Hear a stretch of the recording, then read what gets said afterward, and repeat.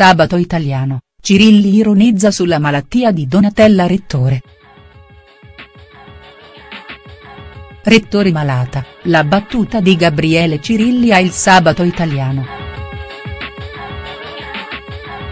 È toccato a Gabriele Cirilli oggi al Sabato Italiano di Eleonora Daniele raccontarsi allo specchio, abbiamo infatti visto il comico cimentarsi in una sorta di lungo monologo, terminato il quale, la conduttrice gli ha chiesto cos'è successo a Donatella Rettore, costretta ad abbandonare tale e quale show per via di gravi problemi di salute.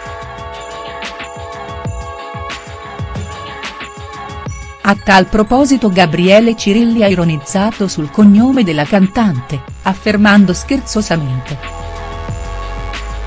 La rettore non ha retto e la gara. E il rettore deve stare all'università.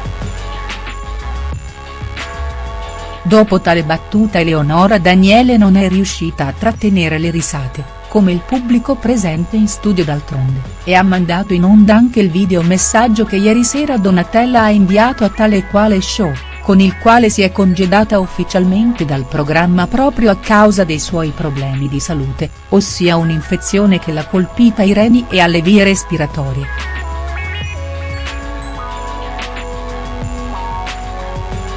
Gabriele Cirilli al Sabato Italiano, la battuta su Donatella Rettore.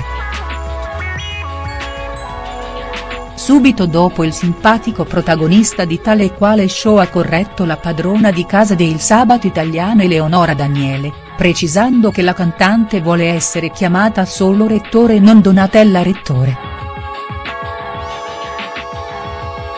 Eleonora ha subito dopo mandato in onda una serie di filmati tratti proprio da tale e quale show, con le divertenti imitazioni fatte negli anni da Gabriele, nell'edizione in corso incaricato di imitare i personaggi dei cartoni animati, dopo Heidi e Lape Maya, ieri sera si è infatti cimentato nell'esilarante imitazione della Sirenetta, che ha fatto piegare dalle risate Loretta Goggi.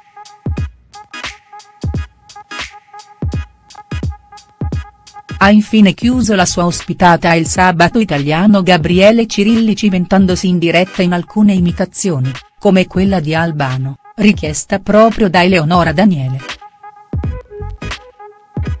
Insomma, uno spazio molto divertente, forse per smorzare un po' l'aria tesa creatasi dopo il drammatico racconto di Francesca Barra, intervistata da Eleonora Daniele dopo le minacce subite. Chiuso il divertente spazio, la Daniele ha congedato il suo ospite dandogli appuntamento a più tardi per ballare il tuca tuca.